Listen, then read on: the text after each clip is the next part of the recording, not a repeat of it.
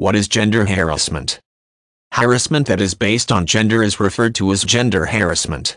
Often, this term is used in cases in which a woman is harassed simply because she is female, but men may face this type of harassment, too. Essentially, it encompasses behaviors that are insulting or degrading toward a person based on gender. It can also include behaviors that are hostile or threatening. A person need not be touched in a degrading or hostile way to be a victim of gender harassment. It may take physical, verbal, or nonverbal form. Often, gender harassment takes the form of sexual harassment. When this occurs, a person may receive unwanted sexual advances that are physical in nature. For example, a woman may be touched inappropriately in the workplace. Sometimes, however, the sexual harassment is not physical, instead, the harasser may make unwanted sexual comments to the victim or within her earshot.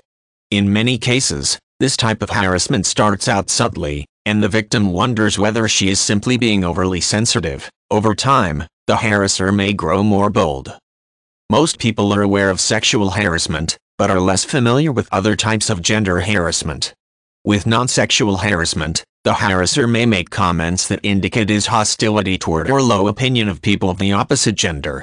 For example, he may make hostile comments that are degrading or hostile toward women but claim they are jokes. In other cases, he may make it clear that he is serious about the comments. Often, the comments or behavior of the harasser make the environment, often a workplace, intimidating or offensive for the victim. In some cases, Gender harassment occurs in the form of pranks. For example, a harasser may play demeaning or intimidating pranks on a coworker or employee. In many cases, he may claim that these pranks are just for fun.